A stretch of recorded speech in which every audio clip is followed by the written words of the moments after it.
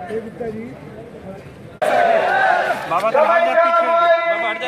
2014 में जो हमारी केंद्र की सरकार जब आई थी, तब जो कहा नरेंद्र भाई मोदी जी ने, वो हम ज़मीन पर क्रियान्वित कर रहे हैं। और ये इरादे वाली सरकार है। ये हमारे प्रधानमंत्री जी ने ज़मीन पर जो गरीब कल्याण की योजना है, उनको चरितार्थ करके साबित कर दिया है। तो एक तरफ़ है कि जो गरीब है, उसका कल्याण कैसे हो? किसानों की आय दुगनी कैसे हो? 2022 तक हर गरीब को घर कैसे मिले, इसके लिए हम लोग काम कर रहे हैं। दुनिया में माँ भारती का किस तरह से डंका बजे और हम विश्वगुरु कैसे बने, हम उसके लिए काम कर रहे हैं। वहीं दूसरी तरफ़ कुछ लोग हैं जो भ्रमित करने का काम कर रहे हैं और जिनको कहीं ना कहीं इस बात की मुखालफत है कि वो जब तक रहेंगे तब तक शायद वो सत्ता में रहेंगे। ऐसा नहीं है, ये देश की जनता लोकतंत्र में तय करती है कि सत्ता में कौन रहेगा। एक परिवार ये तय नहीं करेगा कि सत्ता में कौन रहेगा। दल क्या कहते हैं, ये हमारे लिए है।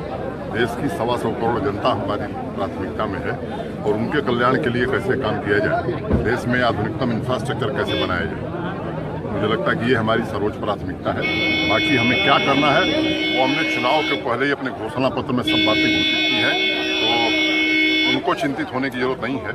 जो नॉन परफॉर्मर रहे हैं, मैं समझता हूँ हमें संदेश देने की देश की जनता हमें समझती है और हम जनता के लिए ऐसा है कि मैंने भारतीय जनता पार्टी का चुनावी घोषणा पत्र पढ़िए उसमें पार्टी ने अधिकृत स्टैंड अपना बताया हुआ मुझे उसके ज़्यादा मैं भारतीय जनता पार्टी के घोषणा पत्र से उसी तरह बधा हुआ हूँ, जैसे भारत के संविधान से